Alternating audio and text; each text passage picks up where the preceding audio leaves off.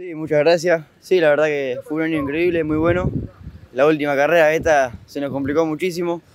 Eh, estuvimos muy complicados en todas las tandas, en la clasificación, todo. En la serie largamos tercero y nos empezamos a venir para atrás. La verdad que no rendía nada el karting.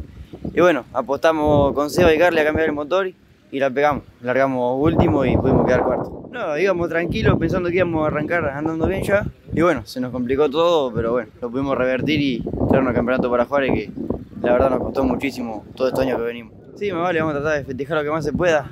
No sé, gana un campeonato siempre, nos costó mucho aparte, así que nada, muy contento. Nada, todavía no sabemos lo que vamos a hacer el año que viene. Vamos a ir un año más en karting seguro, después veremos, pero no sabemos qué categoría, nada, así que nada, ahora a disfrutar esto. Sí, vino mucha gente, fueron también a, a mirar a Yatandil, me hicieron el aguante y nada, muy contento. Nada, muchas gracias a toda mi familia, a papá, a mi mamá, a todos los que me ayudan, a todos los que vinieron ahora, a todos los que vinieron a Tandil, a Seba por el motor, a Carly por el chasis, a todas las publicidades, a todo, a todo que siempre ayuda.